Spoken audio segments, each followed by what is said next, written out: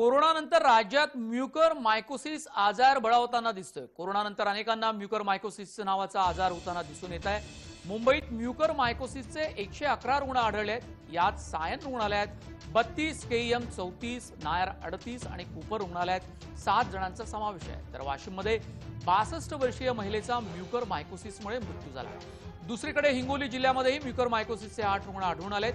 मात्र या रुग्णांना योग्य उपचार न मिळाल्यानं ते पूर्ण मिळाल्यानं ते पूर्णपणे बरे झाले.